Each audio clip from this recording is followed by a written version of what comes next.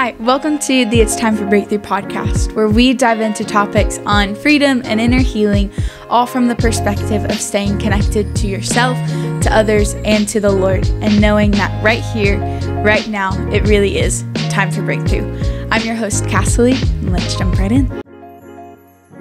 Welcome back to the It's Time for Breakthrough podcast. I'm your host, Cassie, and I'm so excited for our episode today. Um, I am here with Scott Smith, um, who is one of our ministers here at the Transformation Center, and he carries a passion for people to see freedom in their life and breakthrough in the way that God originally designed them to live. And so I am so excited for what we get to talk about today. I believe our topic is something that everyone can benefit from, whether you are young to old, um, and something that is valuable in our tool belt as everyday people living in relationships and navigating what that looks like. And so today we get to talk about um, debrief and how to listen well and ask good questions and what all of that looks like and how to really apply it to our lives and our relationships and how to use that to not just be a um, passive bystander but an active participant in the relationships we have in our lives. And so scott welcome to the podcast. Thank you. It's good I'm to be here. so excited that you're here. I'm excited Um, to be here. and can you just give us a brief little rundown of who you are Yeah. how you're here at the transformation center and yeah what your life is like here. Well um, my relationship with the transformation center started in 2009 when my wife and i both got sozos when we were visiting here. And we were so rocked by that that we had to learn it.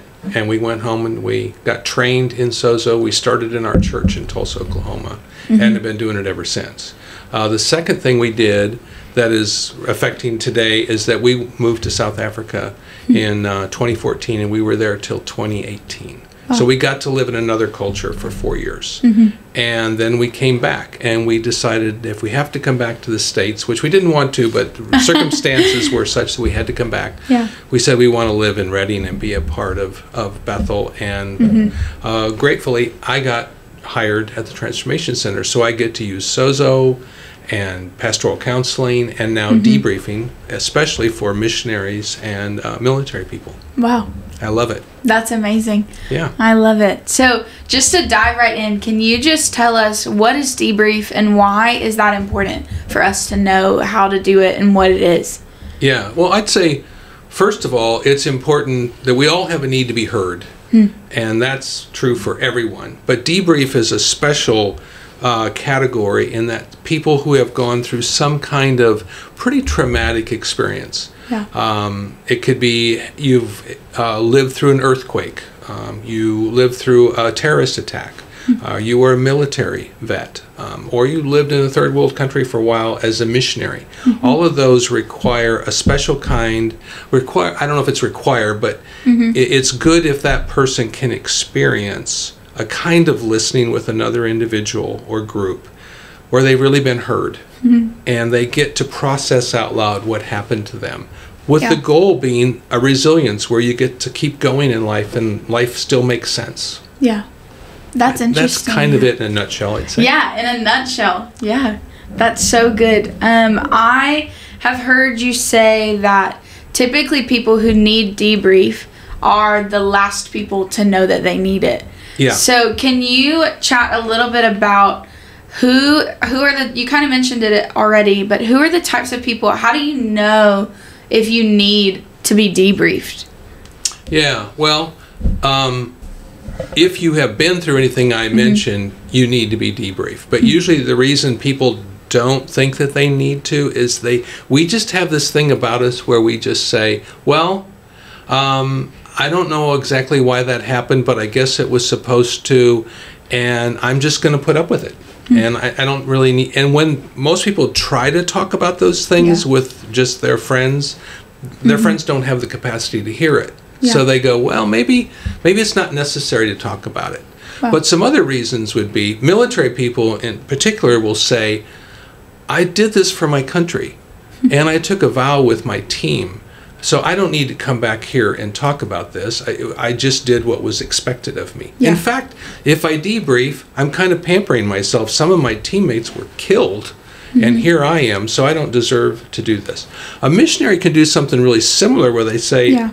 I picked up my cross and I just uh, did what I felt like the Lord wanted me to do. And yeah, it was very hard on me and I paid a high price, but that's just part of it. I don't need to talk about it.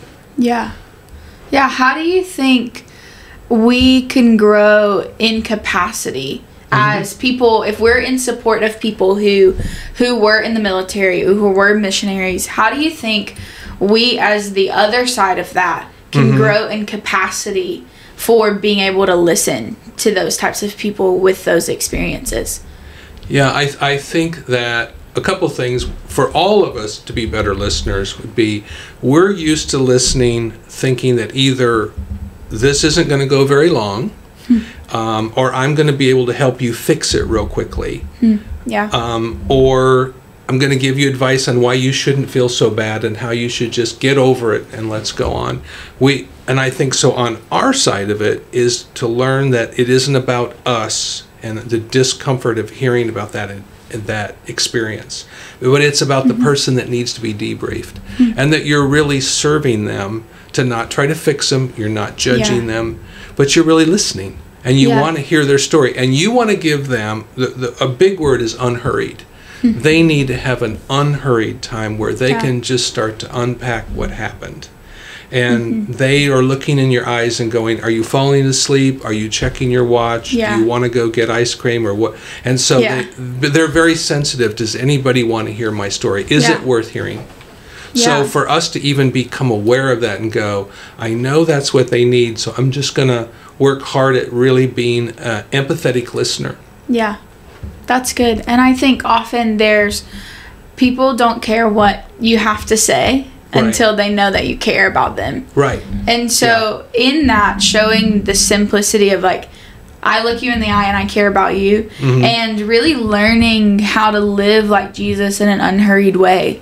Of Jesus sat with people when they were in their mess, Right. And when they were right in the middle of it, and Yeah. not, hey, I'm almost done with my mess. Yeah. I'm in the middle and I have no way out. And he sat with them.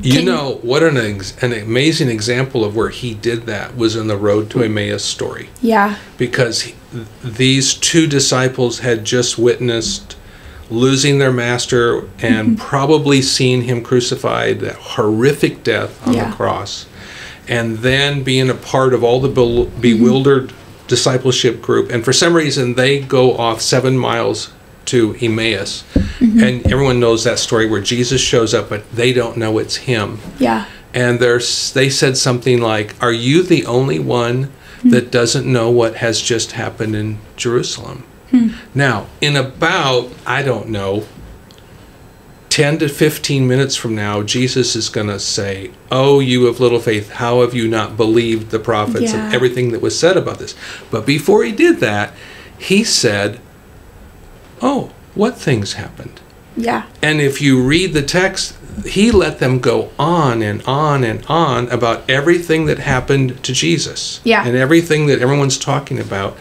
believing that he didn't know anything about it.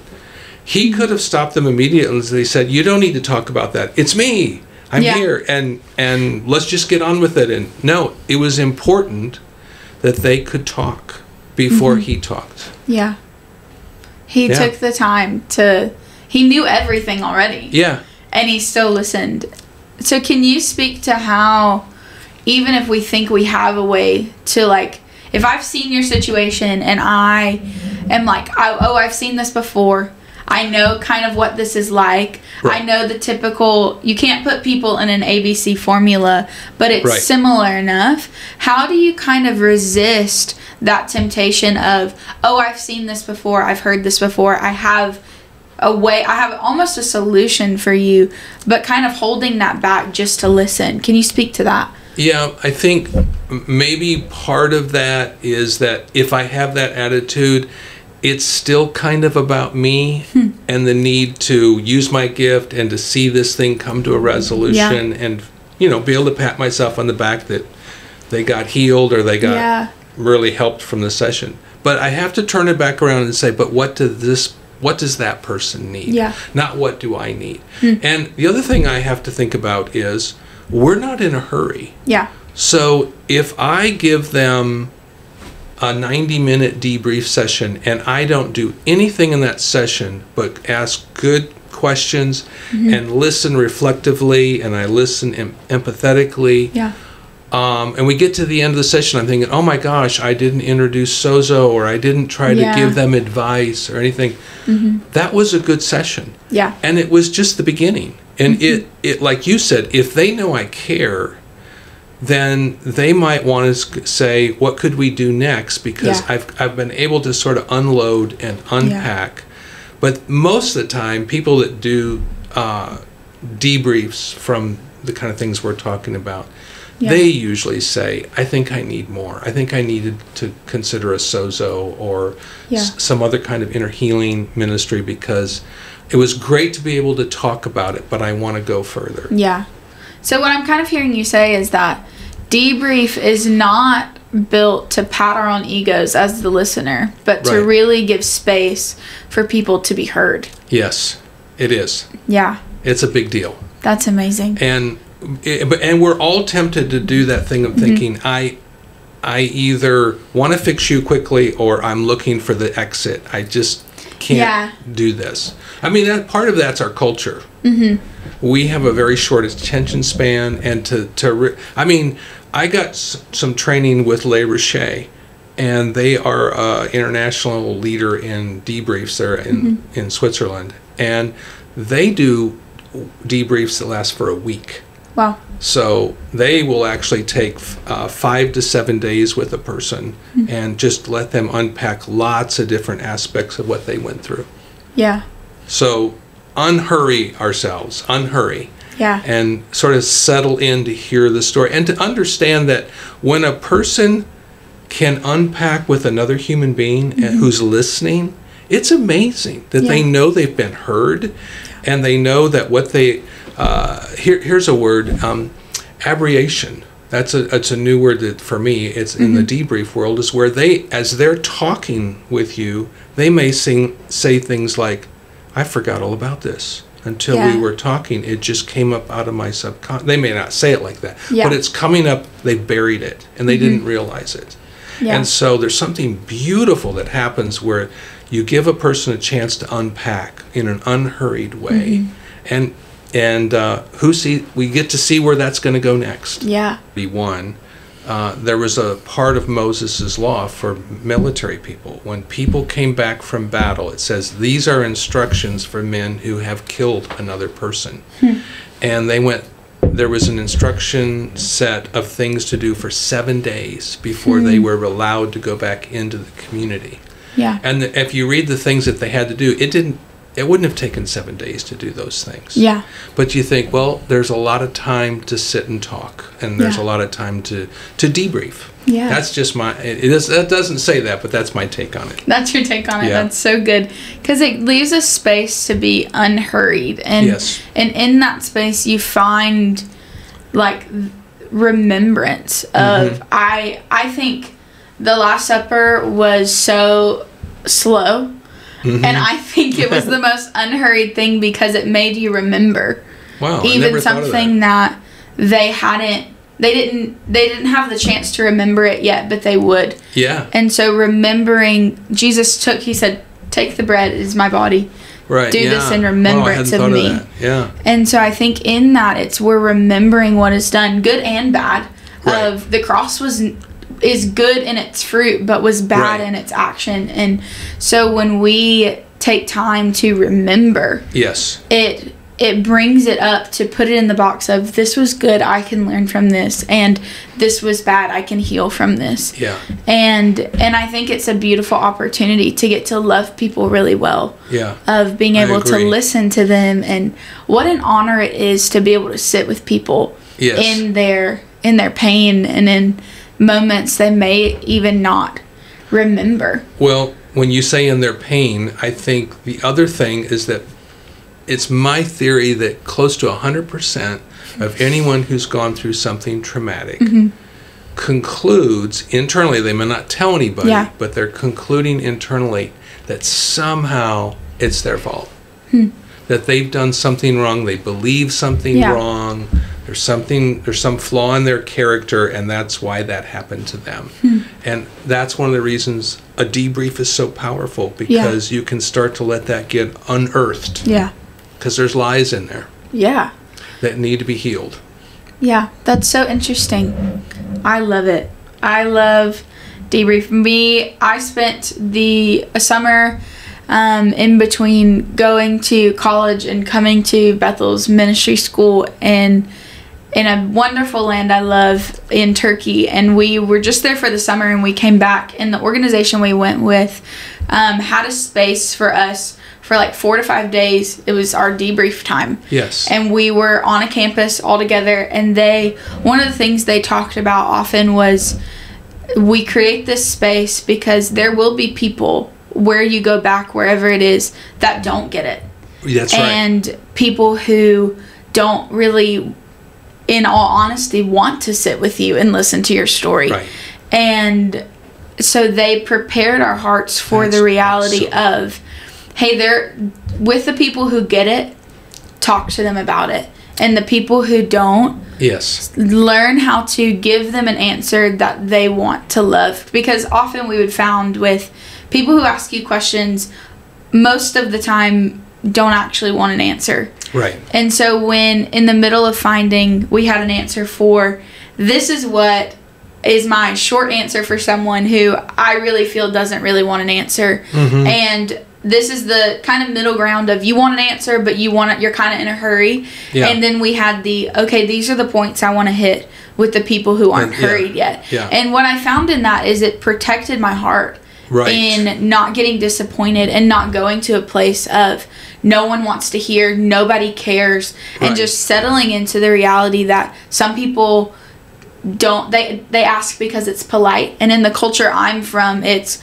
well how are you I'm great great and that you don't really Yes. care it's an auto response Right. and so I found that it helped protect my heart from disappointment. Yes. Yeah. And can you talk about a little bit of how do you protect your heart from disappointment in the midst of a debrief in in spaces where people really you may not find people who want to listen to you and when Yeah. is there a time if that's it to to reach out to someone outside of your network for a debrief session Yeah, well, hopefully, um, there are more and more of us that are going to get really good at this. Yeah. But in the meantime, I well, I wanted to just say, we've gotten really good in the body of Christ, uh, kind of like the military. We're really good at motivating people to go out. And we're great at giving them hope and giving them finances and Yeah. out they go. And we still have a ways to go in bringing them back yeah and reincorporating them back into the Yeah. community. But um, it, this is a very uh, real deal. I mean, for us, when we came back on furloughs from our short time, I mean, compared to some missionaries, four Yeah. years is some people would consider that short term, but Yeah. it, it was long term. yeah But for sure I had a family member at one point say to us, "Mom and Dad, stop! I can't take any more of your stories." Mm. Yeah. But and, and it, for us, the lights went like, "Oh, we're debriefing on family members, and they're not prepared for this." Yeah. But we have a need for it. yeah So, um, recognizing if you need to process uh, an event that happened, you don't have to be a missionary or military vet for this. It can Yeah. Mm-hmm. be anything that's happened, and you still need to process it yeah and your friends and associates don't seem to have the capacity to hear it, Mm-hmm. it's probably time to to find someone who wants to do who who advertises or who says that they do briefs debriefs. yeah We do it here, and we have realized that the capacity we need to explore doing debriefs with way more than just missionaries, and Yeah. military people, because anyone who's come out of anything out of the ordinary that was really a shock and a trauma needs a debrief. Yeah. Yeah, that's really good. And I think in the middle of how do you see debriefs happening in the midst of transitions? Because mm-hmm. I've seen as a BSSM student, so many of us will be in school and we receive so much freedom and healing and Right. we learn so many things about our identity and about the Lord and we're like this is amazing and then we go back into environments that are not where where we found our freedom and we're like how Yeah. do you how do you live a life of freedom in the midst of a place that you once didn't know freedom? And then how do you see that intertwining with debrief? I think that um, the word resilience comes back up again hmm. because a debrief is when you have let's say you've gone through something amazing like a bssm experience mm-hmm. you don't, it doesn't have to be negative to debrief it hmm. it can be That's incredibly good. positive out of the ordinary and positive and you're now going back into ordinary life and trying mm-hmm. to make sense out of that resilience yeah. says i'm making sense out of that uh, season mm-hmm. that event or set of events yeah and i'm getting to where i understand what that was about and I, I have developed a resilience where I'm ready to go into a different future that may look never look like that again. Yeah. But I'm I'm I've got a resilience, I've got a hope, and I've got a mm-hmm. a worldview now that I can go forward with. I'm not stuck. Yeah. That's amazing. I love that you pointed out that it doesn't have to be a negative experience no. to need debriefing. You're right.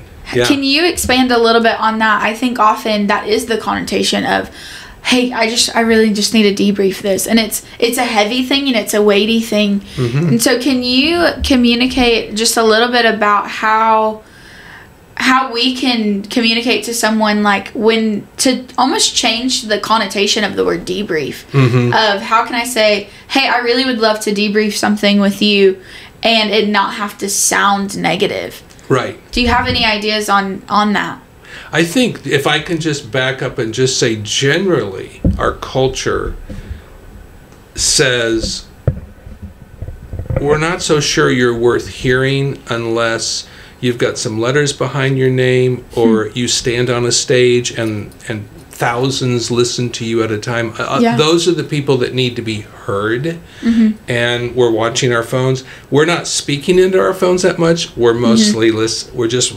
receiving from yeah. it, right? So we all have this need to be heard. Yeah.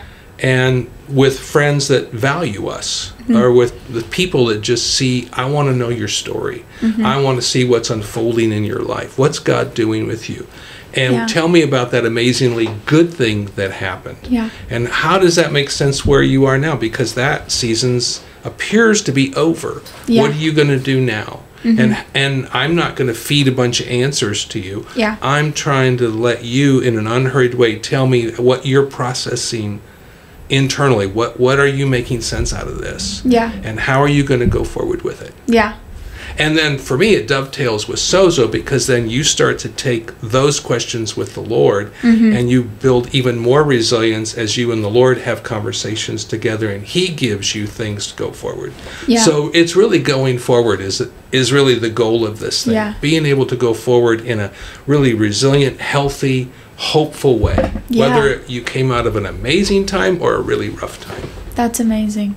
That's yeah. beautiful. What you I think a lot of us are actually debriefing more often uh-huh. than we think we are. We just aren't calling it debrief yet. Yeah.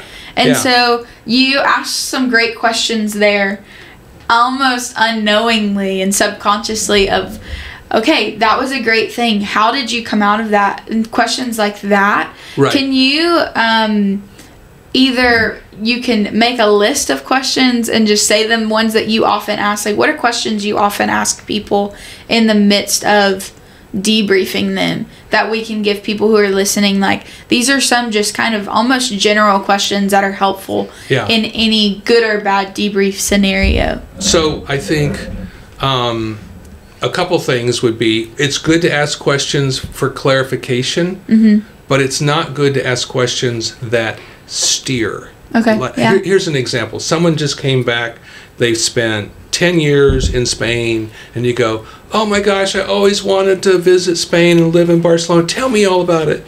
Well, that's good because mm-hmm. you're excited, but then it becomes about me being entertained. Mm-hmm. Tell me stories that will keep me excited about Spain, but that's not what this is about. Yeah. So I want to ask questions like, oh, what does that word mean? Oh, this is a special word in Spain. Oh, okay. So you can ask clarifying yeah. questions that show that you're you're really interested. Mm-hmm. Another kind of question that's really valuable are empathetic questions. Mm-hmm. And those are questions where they may be telling you what happened. Yeah. And at some point, you start to ask questions like, How did you feel? What was that making you feel when that happened? So, Yeah. when you went to the market and you got robbed and your purse and phone and everything was taken, what were you feeling at that time? What do you feel about it now? Yeah. And again, if they can sense from you that you're not an investigative reporter and you're not trying to figure out how to preach to them, getting Yeah. your sermon ready, or you're not uh, figuring out a fix for them, Yeah. and you're not looking at your watch and checking where the exits are, Yeah. then something amazing happens right there. Yeah.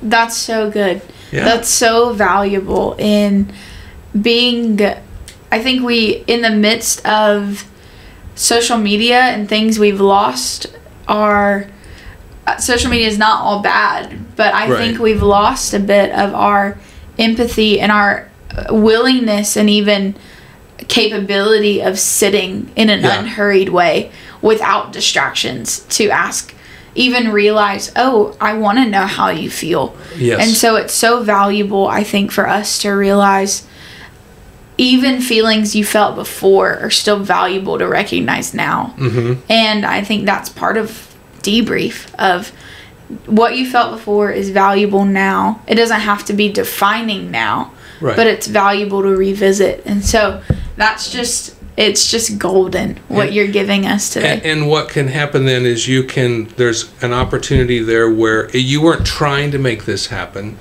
but people can start to bring out the guilt that they felt Mm-hmm. or the shame, or for some reason they've turned this traumatic thing against themselves. Yeah. And you're you're not trying to dig for that, but you're at least giving opportunity. Yeah. You're inviting them if they want to. mm-hmm. If they want to bring out their feelings, Yeah. you want to hear.